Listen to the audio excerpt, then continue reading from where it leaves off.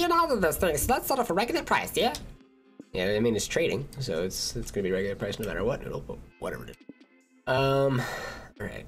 So, uh, using someone else's credit card probably costs some soul, which I can't afford to trade for some. Hmm.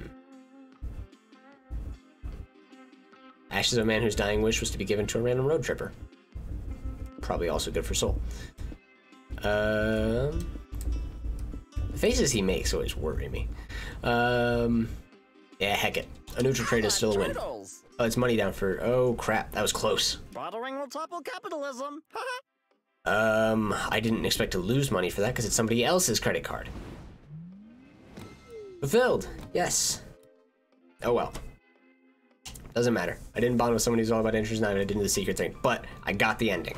Okay, cool. Let's go to Knife Land. Got an ending finally. Ha ha ha ha. Knife Land, the land of fun and knives. You'd ride all the rides twice. They're awesome and deadly in equal parts. There's not one, but two free falls. There's a pit of there's a pit full of spikes and the guillotine, which let you keep a severed head as a silly memento. There's also the blender, the pendulum, and a volcano. You're still unsure if the volcano was supposed to be a ride or if it was just a random volcano that happens to be there. And then there's the murder mansion with an actual murder.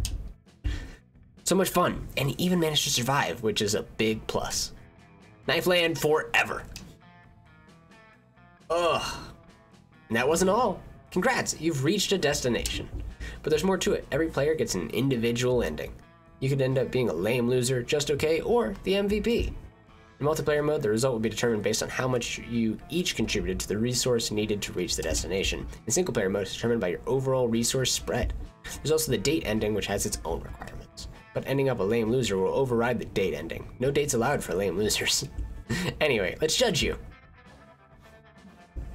Everyone's so happy to have arrived at Knifeland. Everyone but you, that is. You see, as you were getting closer, you realized you forgot your cool sunglasses at home. Dang, those sunglasses are cool, and you wanted to wear them in the as in the many pics you're sure to take at Knifeland. It's just some silly sunglasses, but then again, you feel they will cover all your insecurities with a mystifying awesomeness. Bake it till you make it. So you finally decided it wouldn't be that bad to quickly hitchhike your way home and then back. How long could that take? Took way longer than it was worth. I still got the lame loser. I got to a location and was still the lame loser of the party. That's wild. I. oh my goodness. That is.